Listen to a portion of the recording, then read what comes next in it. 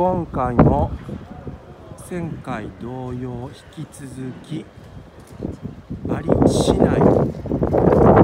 センターからお届けしていま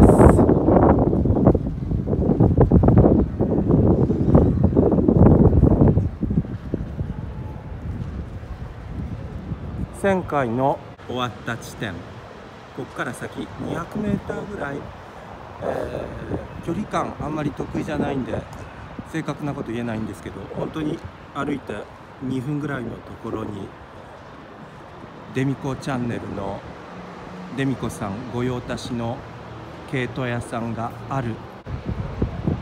パッサージュ・デュ・グラン・セールというパッサージュがあります。前回はそのパッサージュの名前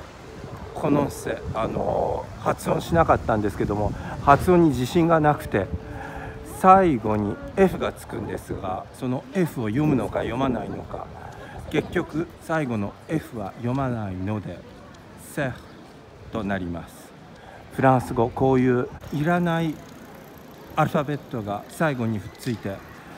読まないならふっつけんなよって思うものがたくさんあります。最後に F とか D とか。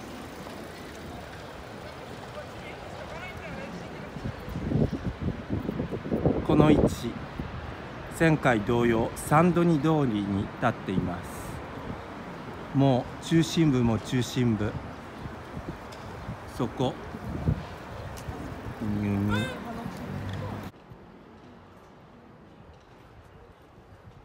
セーヌ川の向こう岸に立っているコンシェルジュリー、の建物の塔の一つが見えてますね。あの塔自体ではない隣の塔だったと思うんですけどもマリー・アントワネットが幽閉されていたコンシェルジュリーの塔がもうそこに見えているのでセーヌにも程近い位置に来ています。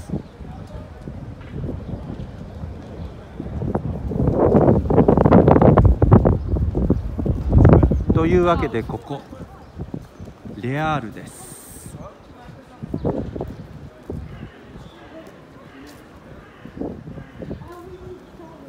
先週末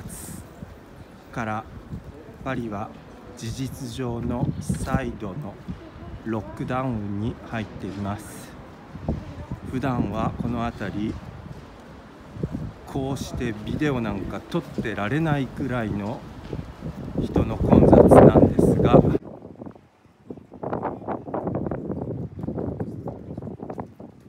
こうして誰にもぶつからず映像を撮ってられます。どうですかこのなんかスタッド・ドゥ・スパーみたいなこの建物。レアールもともとはこの中心にある中央市場がありました。その中央市場が郊外移転しその後ここにはショッピングセンターができてこの新しい建物はそのショッピングセンターの2代目の建物。当時のレアールという鉄筋の市場ガラス張りの市場を現代風にデザインしたと想像されるこの建物。私個人的にはあんまり好きではありません。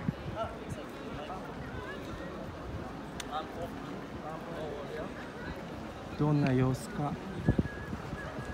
歩いて行ってみたいと思います。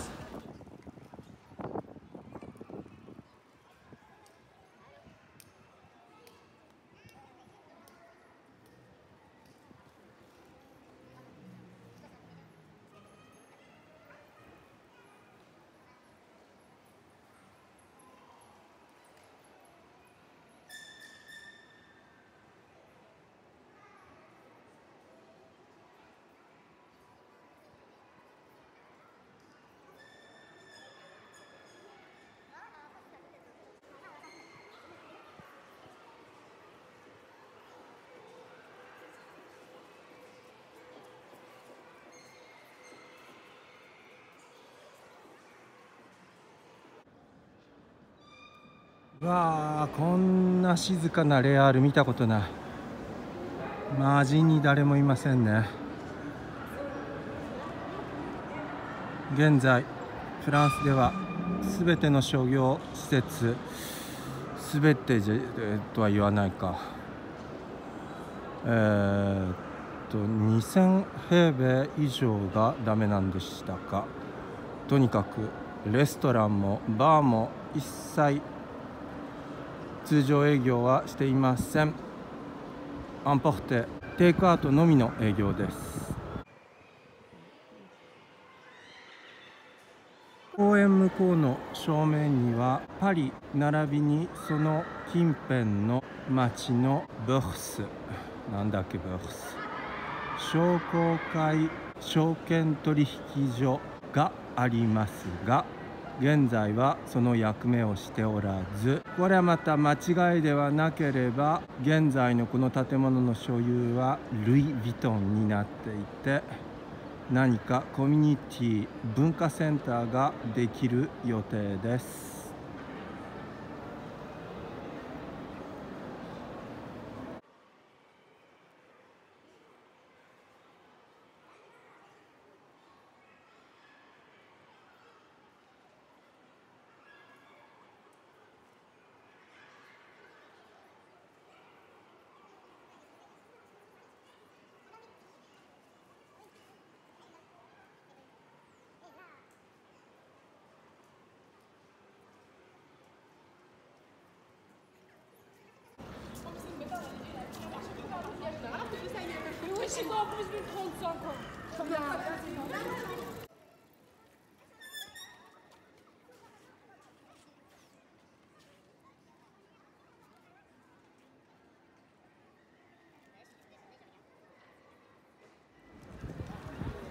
先ほども少しお話しした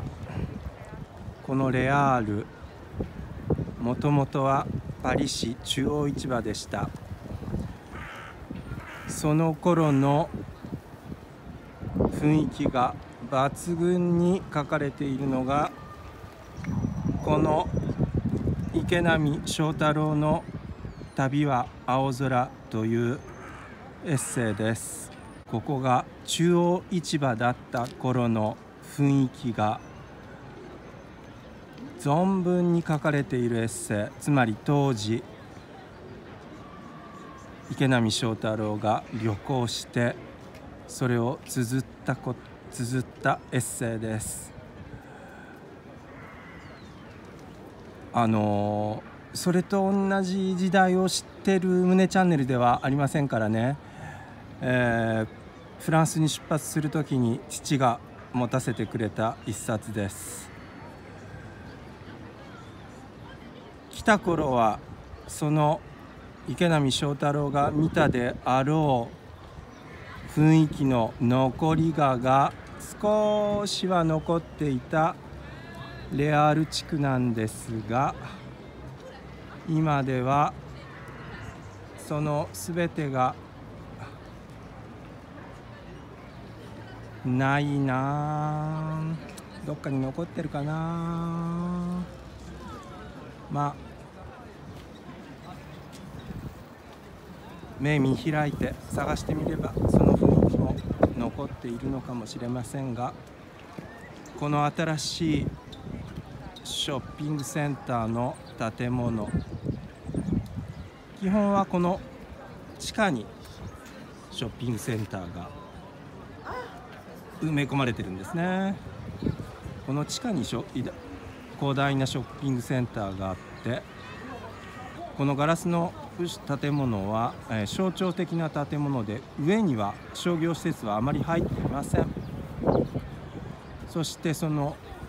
地下の上地下の建物の上にこの公園ができているわけですが長いこと工事のために閉まっていましたが最近また再オープン。再オープンしてみたら何やら日本の桜がたくさん咲いています。ちょっと遅れてしまいましたがまだピンク色が綺麗です。そしてここにはコマランが日本語でなんだっけ？ローズマリー。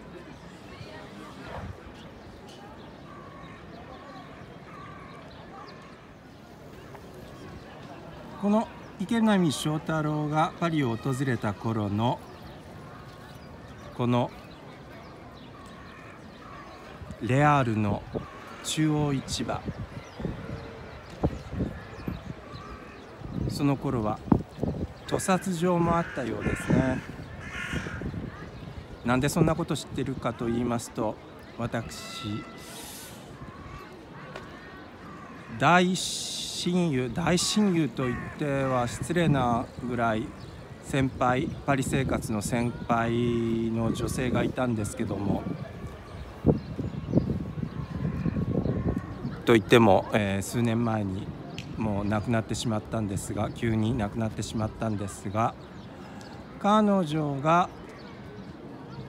結婚相手と出会った馴れ初めの場がその屠殺場だったそうです当時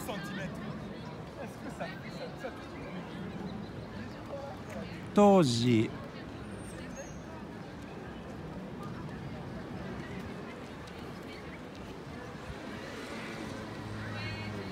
当時彼女は、えー、ガイドとかそういう仕事は一切していなかったんですけどもお友達のガイドの人が急に風邪になってしまい病気で病欠で仕事に行けないので何でもいいからとにかく代わりに行ってくれと言われて行った先が屠殺場、えー農林水産省みたいなあのフランスの省と日本の省が、えー、農林水産省的なものが日本のそれを、えー、視察に呼んでいったんだそうです。その企画をしていた仲介のフランス人がその将来の結婚相手。実際にそこでは屠殺屠殺している、えー、血まみれの場所が出会いの場。なかなか個性的ですよね。長年ずっと亡くなるまで仲良くされてました。そしてそんなことを思い出していてご主人のアンドルさんは。元気でしていらっしゃるかなと思っていたらなんと今朝そのご主人から Facebook で、えー、友達申請がありました。そんなロックダウン入りしたパリの私の近況でした。今日も見てくれてありがとう。